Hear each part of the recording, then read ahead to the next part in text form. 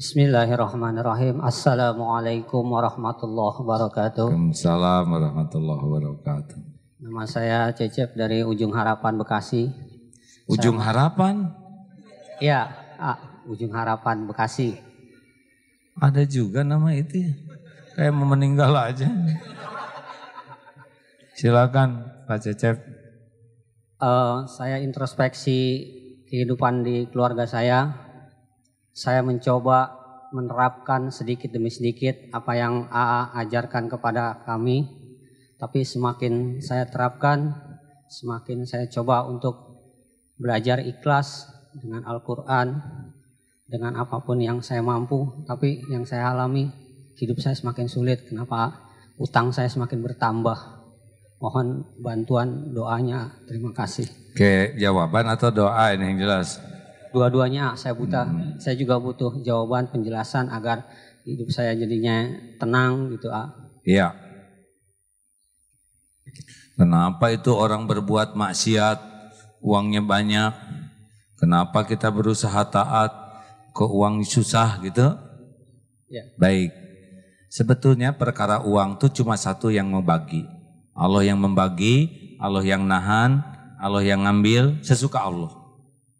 Kenapa dong kita jadi susah begini? Saran saya tobat. Apa salah saya? Nah itu salahnya, ya nggak ngaku misalkan. Kira-kira punya dosa nggak? Banyak ah. Nah itu. Saya udah introspeksi dari mulai saya bujangan emang saya banyak banget melakukan dosa. Saya ingat-ingat Bukan dari bujangan Pak, dari balik ya. dari balik ya betul.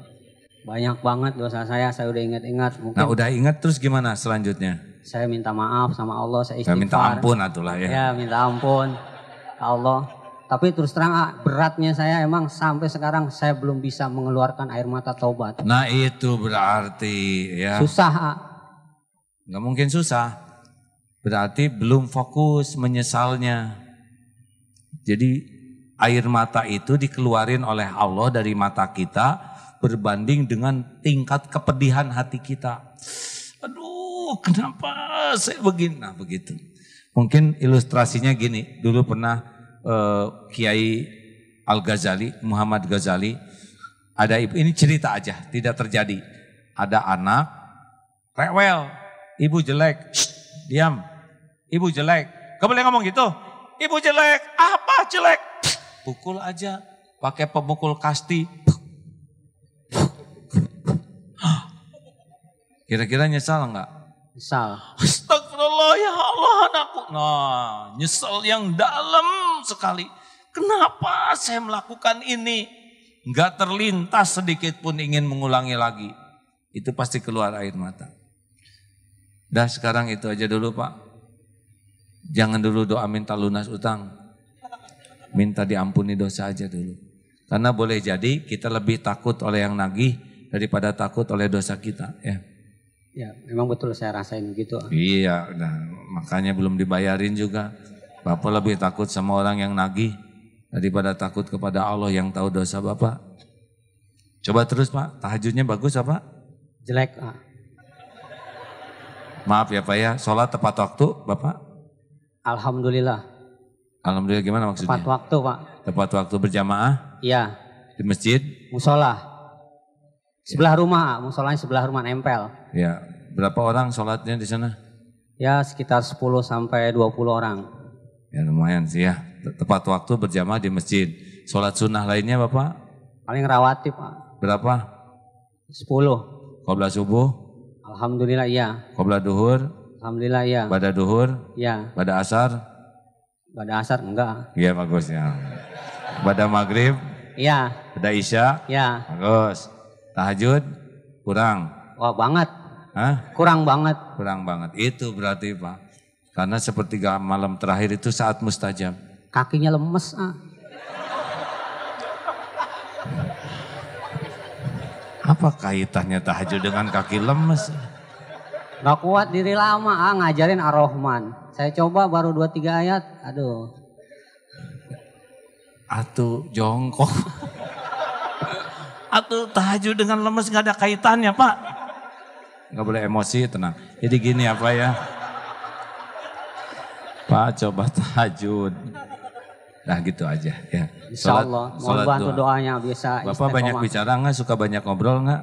Sering banyak lumayan. Nah ya itu yang jadi masalah ya. ya. Diem sekarang saum ngomong.